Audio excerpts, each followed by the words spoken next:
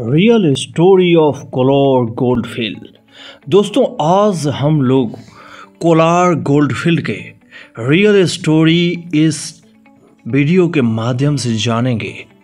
क्या है उस खदान की कहानी जिसे सुपरस्टार यश की फ़िल्म के में दिखाया गया है?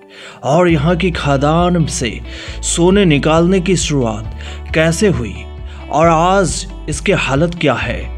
आज हम लोग इसी के ऊपर चर्चा करेंगे और जानेंगे कि इसके पीछे का इतिहास क्या है। दोस्तों के के पहले पार्ट से ही दर्शकों की इसकी नई सीरीज़ आने की बेसब्री से इंतज़ार था, क्योंकि के यानी कि कोलोर गोल्डफील्ड के ऊपर आधारित यह फ़िल्म ने अब तक लगभग 200 करोड़ रुपए कमा चुकी है। के का पूरा नाम कोलार गोल्डफील्ड है।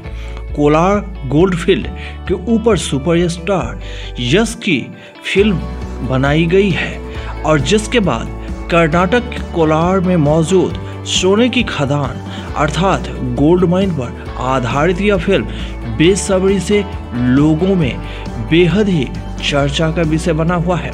जब बात करें तो यह एक ऐसा खादान है जहाँ कभी लोग इन्हें हाथों से खोदते थे और सोना निकलते थे।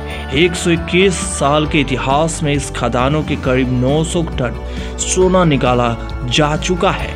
तो क्या है उस खादान की कहानी, जिसे सुपरस्टार यश की फ़िल्म के में दिखाया गया? यहाँ की खदान से सोने निकालने की शुरुआत कैसे हुई? आज इसके हालत क्या है? जानिए इन सवालों के जवाब और बने रहिए हमारे वीडियो के साथ। From the beginning to end तक।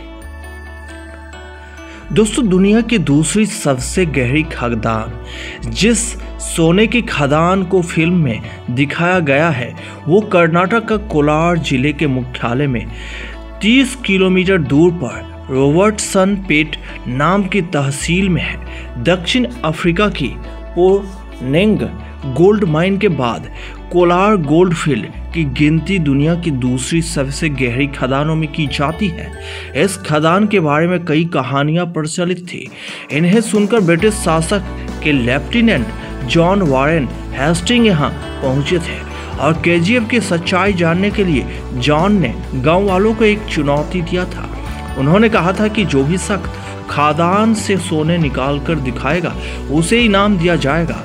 इनाम पाने के लिए गाँव वाले बैलगाड़ी से खदान की मिट्टी भरकर जॉन के पास लेकर पहुँचा और बेहद ही आश्चर्यचकित हो गया जॉन। इस दौरान में जॉन ने खदान के छप्पन किलो सोना निकलवाया था। इसके बाद 1804 से 1860 के बीच सोना निकालने की काफ़ी कोशिश हुई, लेकिन कुछ भी हाथ नहीं लगा।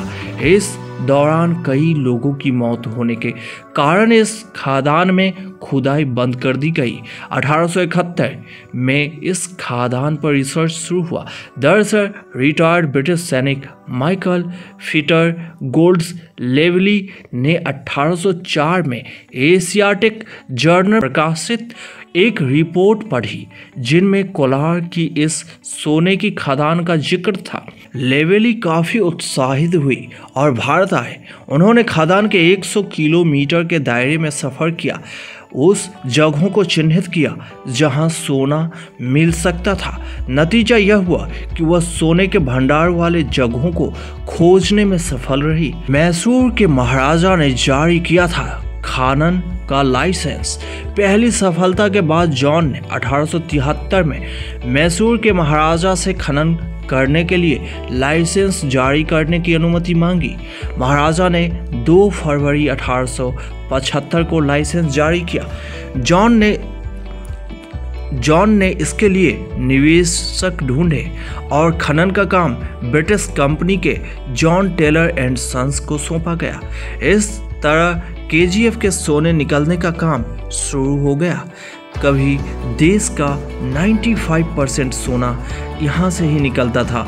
आज है वह जगह बिल्कुल ही खंडहर तो मीडिया रिपोर्ट के मुताबिक उस दौर में भारत में जितना भी सोना निकला था, उनमें से नब्बे पंचानवे फ़ीसदी इस केजीएफ से ही आता था। इस तरह भारत के सोने पैदा करने की मामले में छठे पायदान पर पहुँच गया था। 1930 में कोलार गोल्डफील्ड में सोने का भंडार घटने लगा। भारत के आज़ाद होने तक यह अंग्रेज़ों के नियंत्रण में रहा। आज़ादी के बाद 1956 में यह खदान केंद्र सरकार के नियंत्रण में चली गई और वर्तमान में यह खदान खंडहर में तब्दील हो गई है। सोने निकलवाने के लिए जो सुरंगें खोदी गई थी, अब वहाँ पानी भरा हुआ है। विशेषज्ञों का कहना है कि के में अभी सोना तो है, लेकिन जो खदान की वर्तमान हालत है, उससे साफ़ यही होता है कि सोना से ज़्यादा उसे खोदने में लागत आएगा। तो यही था कोलार गोल्ड फ़ील्ड के ऊपर ये वीडियो। जानकर कैसा लगा कोलार गोल्ड फ़ील्ड को? कमेंट करके बताइएगा।